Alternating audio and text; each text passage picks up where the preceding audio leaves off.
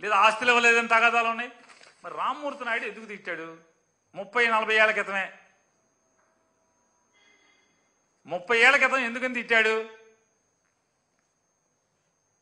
ఎందుకు ప్రత్యర్థి పార్టీలో చేరాడు? కాంగ్రెస్ పార్టీలో చేరాడు? మీరు ముఖ్యమంత్రి కదా. పోనీ మీరేం పదవుడిపోయి లేరు కదా జగన్మోహన్ రెడ్డి గారు లాగా మీరు ముఖ్యమంత్రిగా ఉండగా మీ తమ్ముడు కాంగ్రెస్ పార్టీలో చేరి మిమ్మల్ని తిట్టిన తిట్టి తిట్టుకుని తిట్టాడుగా. ఆయనకి ఏమైనా ఆస్తులు పంచారా ఇవాళ మేము చెప్తాం. ఇదిగో జగన్మోహన్ రాజశేఖర రెడ్డి గారు ఈ ఆస్తులు పంచాడు షర్మిలమ్మకి బతికుండంగా. ఇదిగో జగన్మోహన్ రెడ్డి గారు రాజశేఖర రెడ్డి గారు చనిపోయినా పదిహేళ్ళ తర్వాత పదిహేను ఏళ్ళ తర్వాత రెండు వేల తొమ్మిదిలో చనిపోయాడు ఇవాళ రెండు వేల ఇరవై నాలుగు. పదిహేను ఏళ్ళ తర్వాత. అమ్మా నేను సంపాదించిన ఇన్కమ్ ట్యాక్స్ లెక్కల ప్రకారం నా పేరు మీద నాస్తులోంచి నీకు ఇదిగో పంచుతాను. ఒక్క కాగితం నారా రామమూర్తి నాయుడికి కానీ మీ అక్కగా మీ అక్క దగ్గర ముగ్గురు ఎంతమంది అక్క చెల్లెలు ఉన్నారుగా? ఒక్కడికన్నా. ఇదిగో ఈ రకంగా ఆస్తి పంపిణీ చేశారా? నేను చూపిస్తున్నాగా కాగితాలు. ఇదిగో రాజశేఖర రెడ్డి గారు ఇవి ఈ ఆస్తులు పంచాడు. ఇదిగో జగన్ గారు తండ్రి చచ్చిపోయిన పదిహేను ఏళ్ళ తర్వాత తండ్రి చచ్చిపోయిన పదిహేను ఏళ్ళ తర్వాత కూడా మరణించిన పదిహేను ఏళ్ళ తర్వాత ఈ ఆస్తులు కోర్టు కేసులు తేలంగానే మనం పంచుకుందాం. ఇదిగో నీకు ఇట్లా నీకింత నీకింత అని చెప్పని వేల కోట్ల రూపాయలు. ఈ వందల వేల? మరి పంచాడుగా? ఒక్కడికన్నా నువ్వు పంచావా చంద్రబాబు నాయుడు? మీ అన్నదమ్ములు ఒక్క కాగితం చూపించు. ఈ బాగా ఇంకో తొంతుందండు ఏంటది? మణికొండ. మణికొండనా ఇదా? హైటెక్ సిటీ దగ్గర.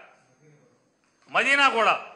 మదీనాగూడలో చంద్రబాబు నాయుడు గారు అమ్మగారు ఐదు ఎకరాలు ఆవిడికి ఇద్దరు కొడుకులు ముగ్గురు కూతుళ్ళు అనుకుంటా. కూతుళ్ళందరికీ పిల్లలు ఉన్నారు ఇద్దరు కొడుకులకి పిల్లలు ఉన్నారు ఒక ఆయన సినిమా నటుడు అనుకుంటా కూడా.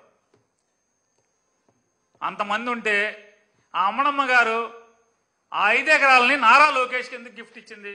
ధర్మమైనది పత్తిత్తి కౌరులు చెబుతున్నావుగా? చంద్రబాబు నాయుడు గారు. శ్రీరంగ నీతులు చెబుతున్నావుగా కూర్చుని?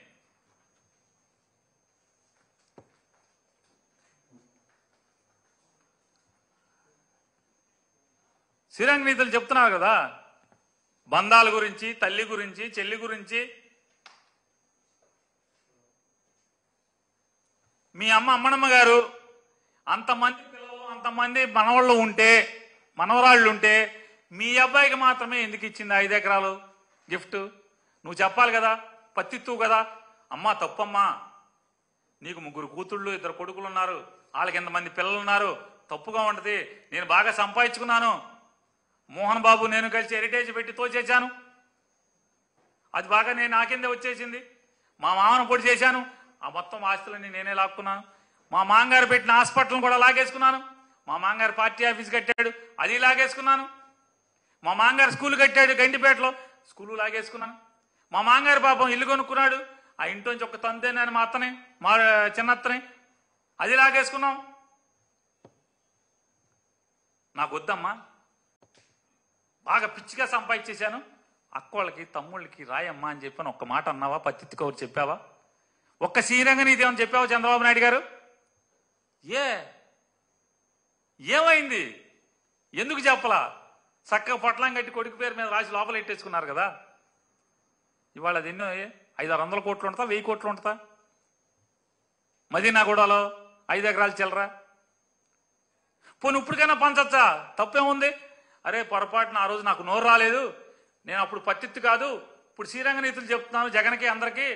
నేను పత్తిత్తు అయిపోయాను. కాబట్టి నాన్న లోకేషు నీకు ఆ నానమ్మ ఇచ్చింది మొత్తం మన మేనత పిల్లలకేను బాబాయ్ కొడుక్కి రాసేయమని చెప్పాలిగా. చెప్పట్లేదే? ఎందుకు చెప్పం? ఇది మన వ్యవహారాలు.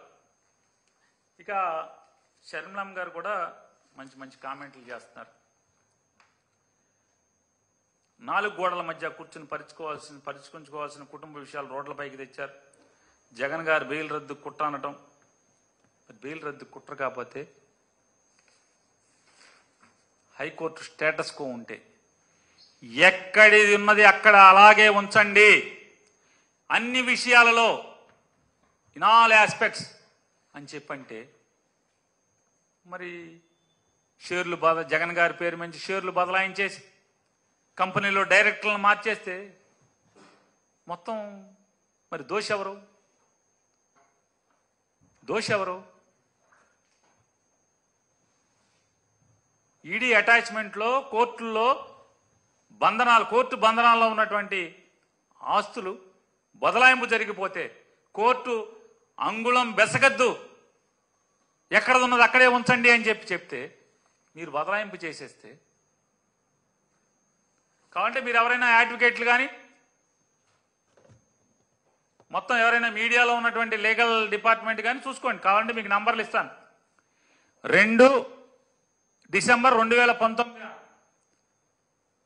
IA number two of two thousand nineteen in CSMA number nineteen of two thousand nineteen అది ఆ కేసు నంబర్ దావా నంబరు.